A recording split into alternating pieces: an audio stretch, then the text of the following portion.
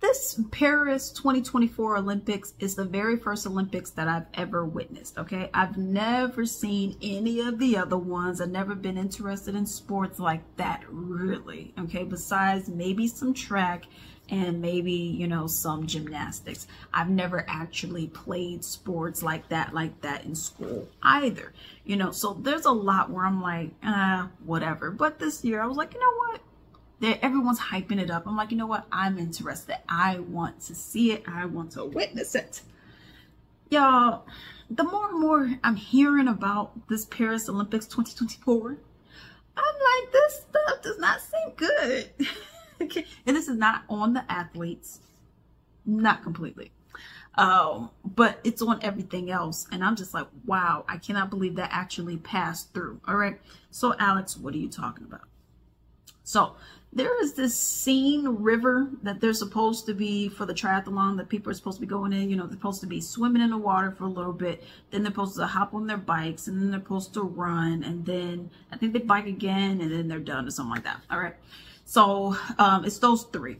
But that's essentially what happens. All right and then they're done. You know, however long it may take you, hour and a half, hour, and you know, almost two hours, whatever, to complete it that's for your line. Why are they having them swimming in this dirty, nasty, filthy water that they said has been dirty for over a hundred years and they knew this water was dirty for a hundred years?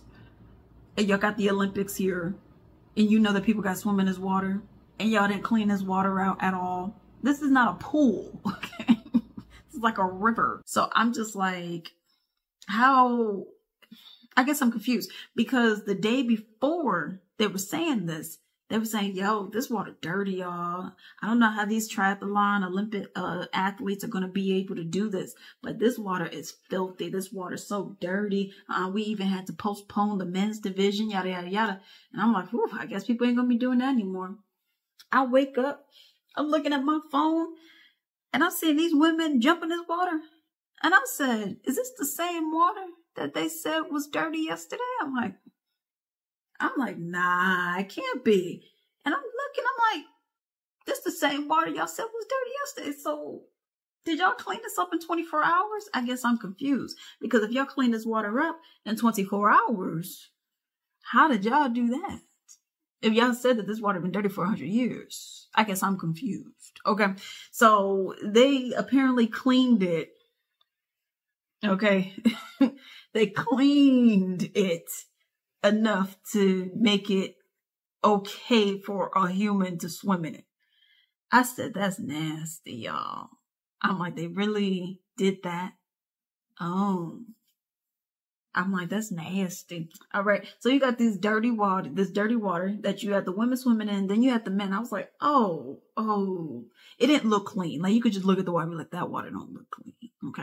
But they got this nasty, dirty water and these people, they, they, they swimming or they they swimming in it. I'm like, mm Y'all need to be washing. And one day y'all need to take about 10 showers. And you need to be in the shower for about an hour and a half because that's gross.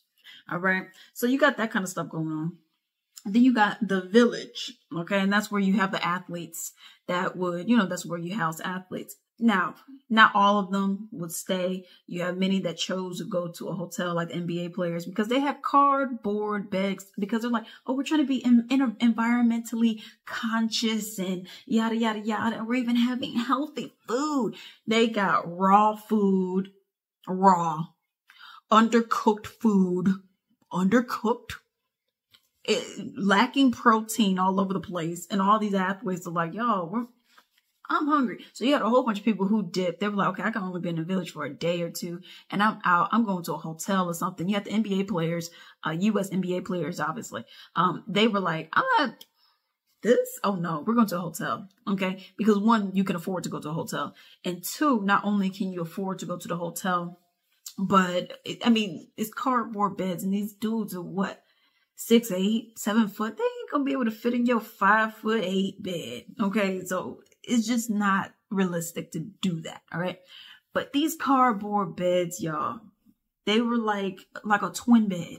You know what I mean? You know how twin bed is really only for one person. That's how these beds were. And people, these athletes were laying in these beds and I was like, hmm, That wouldn't be me. Okay. Like, I mean, you can't do anything up in there. Then you got the ceremony opening, and I'm like, here with the alphabet stuff. I'm like, what is this? Why did y'all? I mean, it was just so weird. And I'm like, why did y'all think this was a good idea? Who signed off on this is my question. All right. They say no religion, but then people who wanted to have religious stuff in there, you said no, but then you're able to do it. So, and then you got the one that is the most controversial of them all, I guess you can argue, or one of the many, um, where you had a bio you had a biological woman going up against a biological female who has XY chromosomes. Now it's a rare genetic disorder from what I was reading that will allow for a woman to have XY chromosomes. The X is, you know, women are XX, XY are only men. Okay. I've yet to see a man that had XX. So XY only men, that's for the sex, uh, the sex hormones and that's for, you know, your reproductive, you know, your organs and everything. All right. And you had this person that was fighting a biological woman. Now, some people will say, but this person's not a trans person. Okay. But your, you have an uneven advantage, not just an advantage because you're, you're skillful. It's because your genetic makeup your biology is leaning more towards man. I'm not sure what they got going on down there. But when you have it where the year prior you were banned from performing on a for a world title, when you're banned from performing because you do not meet the chromosome testosterone um, standard, how is it that you're now allowed to be in the Olympics and you still don't meet the testosterone standard, yet you're beating up on a woman. Now, I don't get that. Now, for the people that say, but they're biologically a woman, a rare genetic makeup, I agree with that. Okay. I get that. It's a fact. That's what they were saying. But with that being said, you lean more towards male than female and having XY I also, that's why I say it's very, very, very, very, very, very rare for a woman to have XY. Okay. So you have XY, which should be with men over there. So you really should be competing against men. All right. Now people are saying, well, how come y'all didn't bring this up before? Because no one cared before. Probably no one even knew. Many people didn't even know. Of people who cared to watch it, and let's keep it real. I watch UFC. You were not in UFC. You're boxing. And I hardly even watch boxing given that. And of the boxing that I've seen, I've never seen this person up in there. You know, so that's what it is. And you have a lot of people who will fall into that same kind of boat. All right. So that's one of the things. And it's like you're having that kind of stuff going on too. And apparently it was two athletes that had it where they were going into the women's division. All right. And one was an Asian person and they did not contest it. And with her, so you still were not allowed to do it. And with her, they said that she con- she contested it, but then reneged, which means you still were not allowed to be on here. So I guess I'm confused. All right. But this Olympics just seems wild. There's a lot of positives, like you had Snoop, but then even that, people saying, well, why was an Olympic, a former Olympic uh, champion, not doing the torch holding? Why was he holding it? That I don't know. Okay, I don't know. But Snoop, he's been there, you know, he's supporting everybody, doing all that Flavor Flav. He's over here sponsoring, I think it was the women's polo team, uh, water polo team. Um, so you're getting a lot of positives, but there's a lot of negatives in here. And to me, it makes me wonder, did y'all even plan this out? I mean, y'all spend all this money. Y'all don't have any food. And the reason for that, they were saying that people had contracts like these mom and pop shops or these other places. And it seemed like people were just stealing the money and not delivering all the food. Why would you not deliver food? I don't know. But people are not delivering. So that's another thing. Where's the money going? Anytime you see all these people get all this money, where's the money going? You know, so with this, uh, dirty water that you having people swim up in. Uh, that was just gross to me. No food for a lot of people. And if you did get it, it was raw, undercooked, not good at all, lacking protein. You got men beating up women up in here. You got the alphabet agenda going on.